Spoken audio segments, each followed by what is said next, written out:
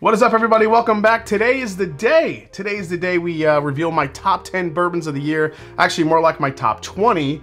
I'll walk you through the 10 bourbons I enjoyed this year that just didn't quite make the top 10, but I think are really worth mentioning.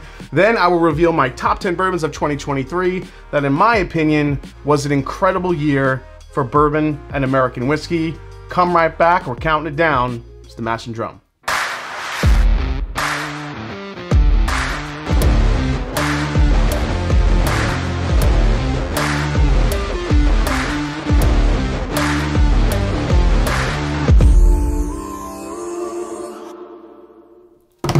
What's up, folks? I'm Jason C. from the Mash and Drum. Welcome back to the show. Like, subscribe, and help me hit that 100,000 subscriber milestone for 2024. So let's dive right in. My criteria for my list is simple. I do not include any samples I receive from distillers or viewers in my rankings. I only include bottles that I purchased personally and was able to obtain to enjoy throughout the year or had enough to be put through my end of the year blind tasting. So you won't see any Buffalo Trace Antique Collection, you won't see 13th Colony Double Oaked, even though that's definitely a top five whiskey, but I just wasn't able to get a bottle of that one uh, last year.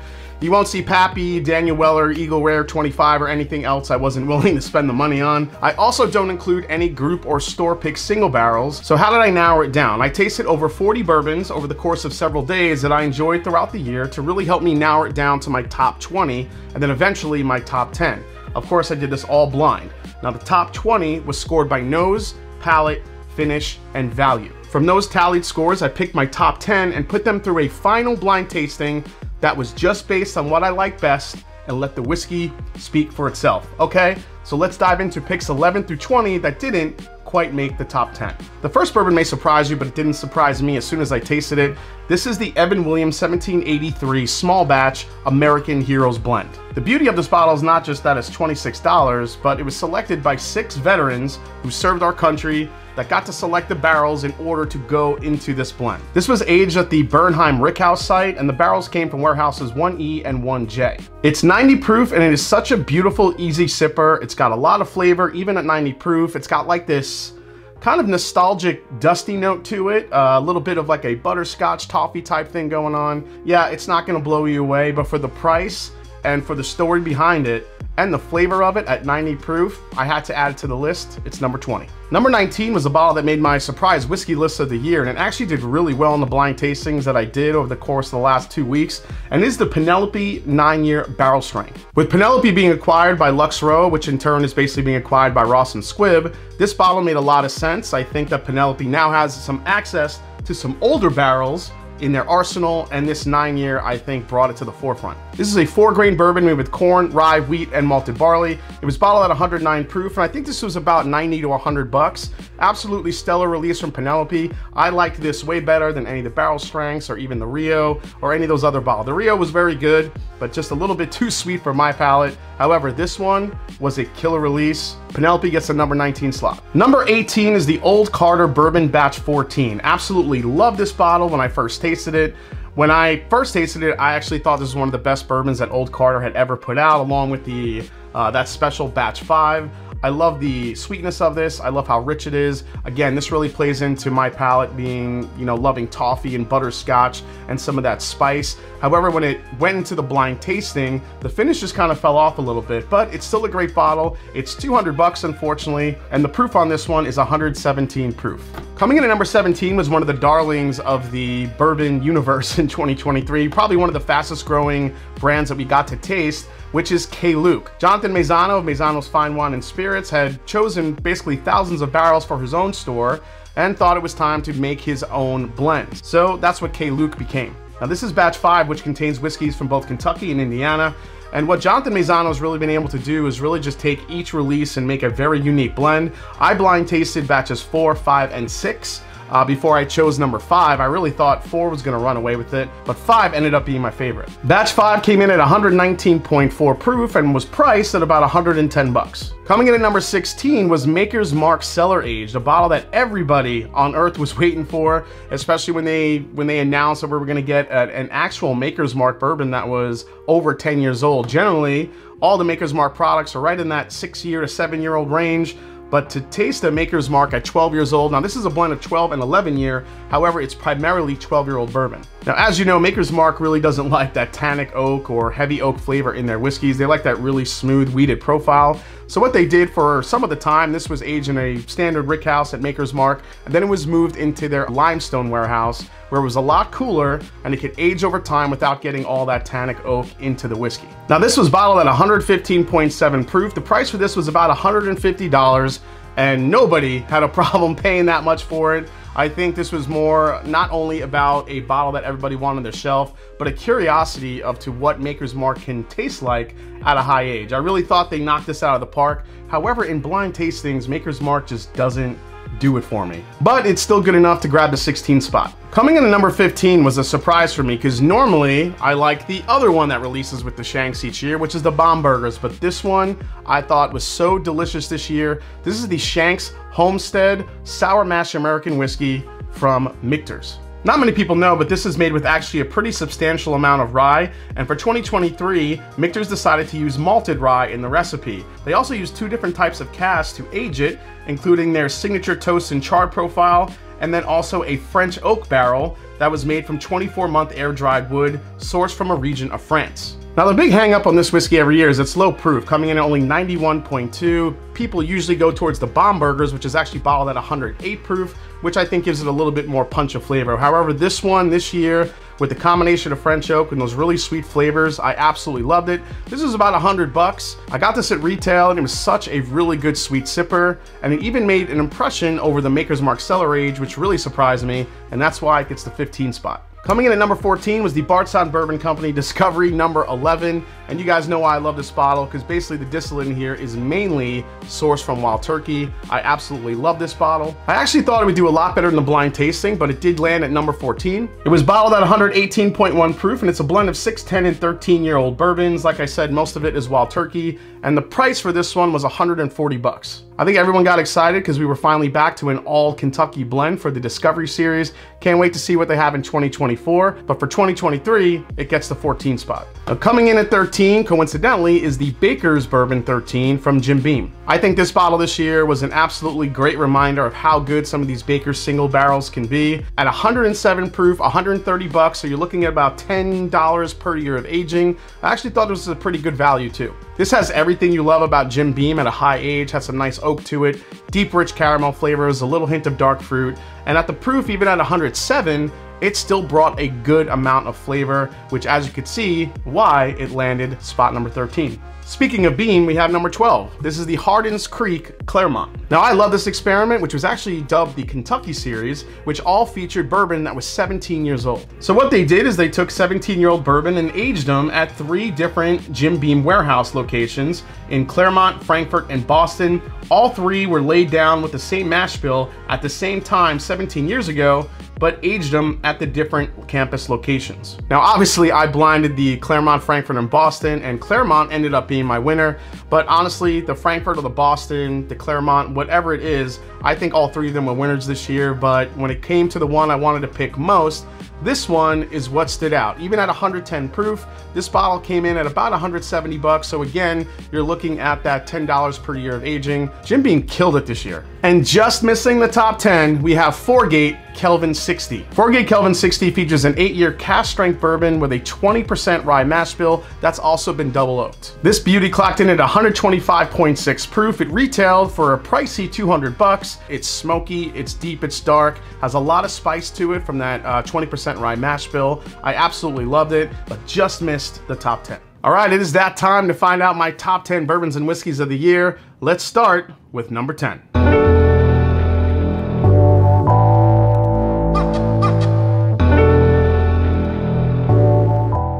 Taking the number 10 spot is the Bardstown Bourbon Company Origins Bottled in Bond Wheated Bourbon. This bottle I loved from the first day I tasted it, and I thought I could really go head to head with some other popular wheaters on the market. For a bottle that costs about 50 to 60 bucks, I really love the richness of the flavors in this wheated bourbon. Even though it's a wheater, it didn't really come across as one. But what really impressed me is the texture on the palate. I thought for a wheated bourbon at 100 proof, it was a great mouthfeel, great texture on the palate. I thought it definitely needed to be a top 10 contender, so it took number 10.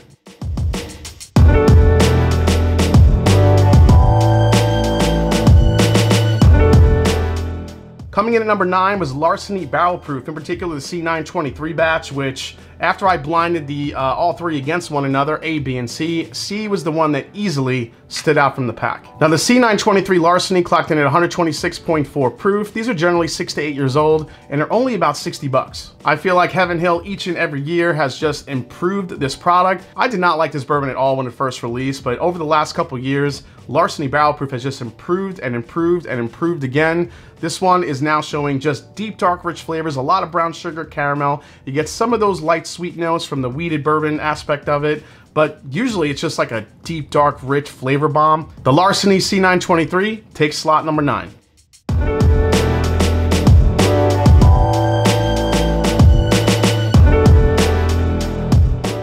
This one is a surprise. This was my surprise whiskey of the year. I wanted to throw it in the blind tasting to see how it would do. And coming in at number eight, Little Book Chapter 7 in retrospect. I'll admit I've not been a big fan of the Little Book releases ever since Chapter 3, but when I tried this for the first time, I was so blown away. It was so unique, so different, and that's what drew me to this one. Now, this happens to be a blend of a lot of different whiskeys that on paper should not work. So the story goes is that Freddie Noe chose one of the whiskeys he used in all the previous batches of Little Book and then included a new one to create this. Now this came in at 118.1 proof. It retailed for about 150, 160 bucks depending where you got it, even cheaper in some areas. Uh, but for me, this one was so unique, so rich and had so much flavor to it. It definitely surprised me and was good enough to make number eight.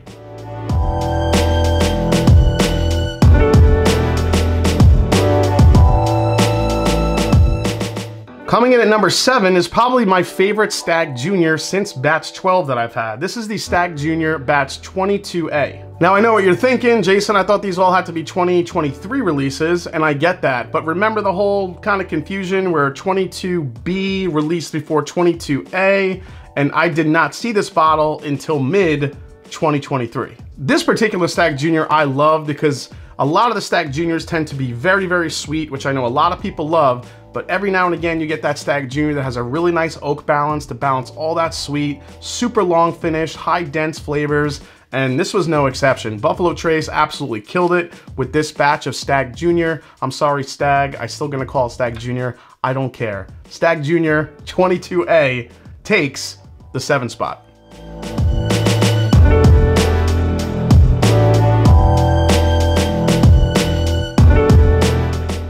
Coming in at number six is a bottle that I've had a very weird relationship in 2023 with, and that is the Wild Turkey Generations. Now the story goes for this one is that Jimmy Russell, the legend over at Wild Turkey, his son Eddie Russell and his grandson Bruce Russell collaborated on this, choosing barrels that were 9, 12, 14, and 15 years old, blended to create this bourbon. When I first tried this bottle, I was not a huge fan of it. I did not think it was worth $450, which it is a $450 bottle retail. Now, if you watch my advent calendar, when this bottle was put in front of me, it was probably the biggest surprise of the entire advent calendar series. I did not think that that sample was the Wild Turkey Generations.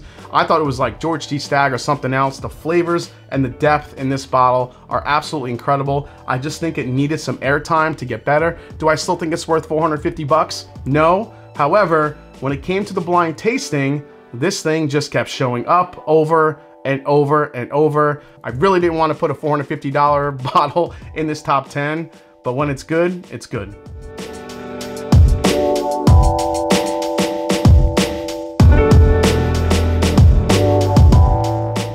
All right, I went to the top five, guys. It is Jack Daniels 12 year. Another distillery that absolutely killed it this year was Jack Daniels. Not only did we get their single barrel barrel proof rye finally available on the shelf, but we got the twice barreled rye. We got a bunch of really unique finished products from the distillery series. And on top of that, they brought a 10 year and a 12 year Tennessee whiskey to the market for under 100 bucks each. To me, the best of the bunch though was the Jack Daniels 12 year, coming in at 107 proof. I could tell you from experience, I got to go and taste this out of the barrel uh, when I went to Jack Daniels before it was uh, proof down 107 proof. And I'll tell you this, even at 107, it didn't lose too much from what we got to taste in the barrel. The flavors here are just incredible. Yeah, you get some of that quintessential banana, but really the butterscotch, the toffee, some of the spice that was here, all the deep rich oak profiles, everything that you wanted, that you hoped this 12 year would be, actually came to the forefront for about 90 bucks. Absolutely killer release from Jack Daniels this year and good enough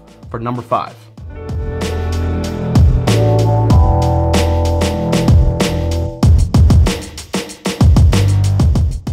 Oh, it's getting crazy. Number four, here it is, folks. The Michter's 10-year single barrel. For the first time ever, even cracking not only a top list of the year for me, but a top 10 the 2023 Michter's 10 year was a special bottle. Coming in at 94.4 proof at a price at about 170 bucks, I think, for these these days. This was one of the biggest surprises of the year just because I have never really thought that much of these Michter's 10-year uh, single barrels because they've been too low of a proof for me and none of them ever really stood out until 2023. Now there's a lot of controversy as to the other, if you didn't have an A barrel, if you had a B, a C, a D, or E, or whatever the letter was, as far as your single barrel on the neck tag. And yes, I agree in some of the samples I had from other folks that didn't have the 23A single barrels, they had other letters. Yeah, I agree it was not as good as this one. Did they maybe send uh, some of the reviewers and some of the writers some of their best stuff? I mean, it happens, but either way, I absolutely loved this bourbon. This bottle to me was a modern throwback of an old bourbon from like the 70s or 80s. It had this dusty rickhouse funk to it, this really deep, rich oak funk to it. I absolutely loved it. Single barrels are gonna be single barrels. Michter's 10 year, congrats. First time ever, you got number four.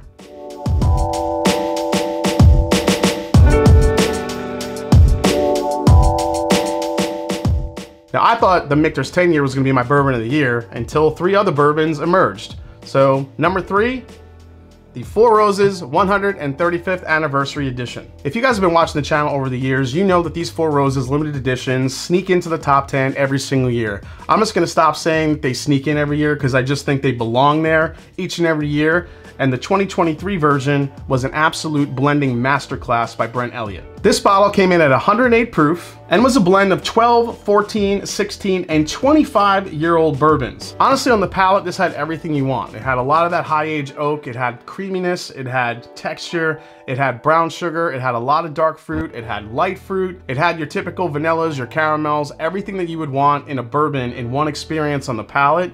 That's what Four Roses had. This bottle this year was actually 200 bucks, I think because of that 25 year old whiskey that was in the bottle. As you can see, I put a pretty good dent in this bottle already. I think it's a little bit less than, uh, less than half gone. So, uh, but it was delicious enough to make the number three spot.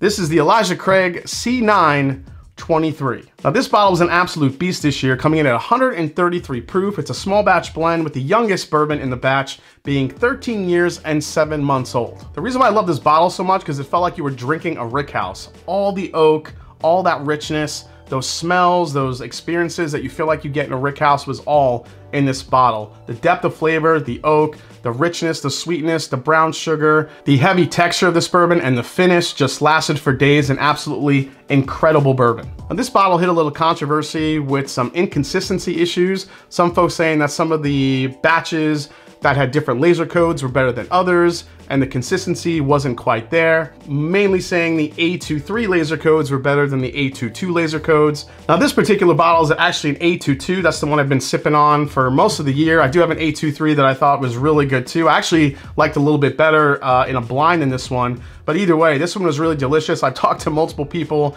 who've had either the A22s or the A23s. They like one over the other. It doesn't matter. You know, to me, if you were lucky to get one of these this year at a good price at retail, you got yourself an incredible bourbon and good enough for number two on my list.